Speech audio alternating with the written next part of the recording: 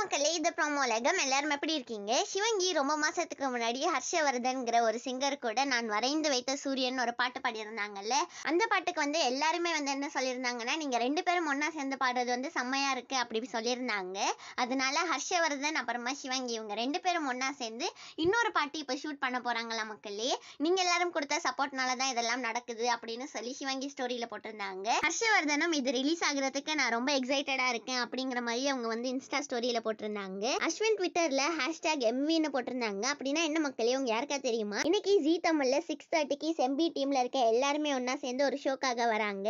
அதுதான் மக்களே ஜி தமிழ்ல வந்து ஷேர் பண்ணி என்ன சொல்லியிருக்காங்கன்னா இன்னைக்கு வந்து ஃபுல் ஃபன்னு தான் இந்த எபிசோட்ல எல்லாரும் மறக்காம பாருங்க அப்படின்னு சொல்லியிருந்தாங்க. புகழ் வந்து டிஎஸ்பி படத்தோட ஆடியோ லான்ச்சுக்கு போயிருந்தாங்க. ஏன்னா அந்த படத்துல அவங்களும் நடிச்சிருக்காங்க. அங்க வந்து புகழுக்கு முன்னாடி யார் உட்காந்துருந்தாங்கன்னா கமல்ஹாசன் தான். அந்த போட்டோவை வந்து புகழ் ஷேர் பண்ணி என்ன சொல்லியிருக்காங்கன்னா முதல் தடவை பின்னாடி உட்கார்றது வந்து ரொம்ப சந்தோஷமா இருக்கு. ஏன்னா முன்னாடி கமல்ஹாசன் தமிழ் சினிமாவே உட்காந்துட்டு இருக்காங்க அப்படின்னு சொல்லியிருந்தாங்க. எனக்கு ரொம்ப பெருமையா இருக்கு. சினிமால உங்களை பார்த்து ரசிச்ச நிறைய ரசிகர்கள்ல நானும் ஒருத்தங்க அப்படின்னு சொல்லியிருந்தாங்க.